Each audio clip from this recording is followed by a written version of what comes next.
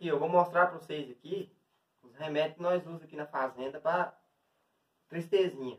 Tristeza bovina, parasitária bovina. Esse aqui, ele vai pegar anaplasmose. Anaplasmose. Vou mostrar na vez, né? Vamos dar câmera. Ele vai pegar a anaplasmose, a pneumonia e vai cortar a diarreia. Mogiflox. 1 ml para 20 kg de peso vivo no músculo. Esse aqui, o Ganavete, ele vai pegar a babesiose, que é a tristeza parasitária bovina. É 1 ml para 20 kg. Três dias seguidos, os dois.